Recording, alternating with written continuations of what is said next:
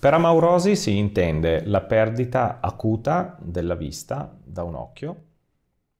Amaurosis refers to the acute loss of vision in one eye, whether temporary or permanent. It is a dramatic event that usually occurs non-isolated, that is, there may be warning signs in which the patient has decreased vision, goes to the ophthalmologist, and reports a decrease in vision and an absence of vision, a part of the visual field or of an entire eye, which lasted for 5 to 10 minutes or even half an hour. These transient amaurotic phenomena are practically moments in which the eye no longer sees anything. The patient sees completely black. They are usually associated with vascular phenomena. It means that a small blood clot started from the vascular system, ended up in the central artery of the retina, and occluded the latter temporarily.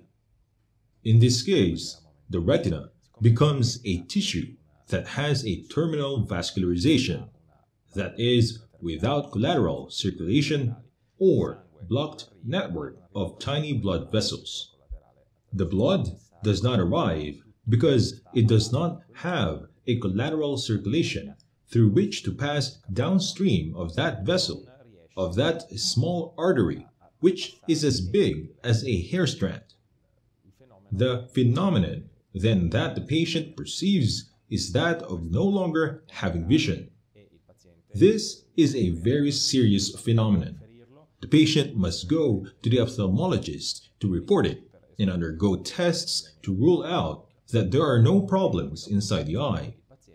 The ophthalmologist must also then refer the patient to general medicine specialists, internal medicine, and above all, cardiologists and internists to understand what was the primum movens that created this decrease in blood circulation within the eyeball. Embolus usually starts from the heart and may be due, for example, to atrial fibrillation. Therefore, the patient must be sent to the cardiologist. The cardiologist must carry out all the tests he deems appropriate, and then it is possible that an antiplatelet or anticoagulant therapy, support, and maintenance is established.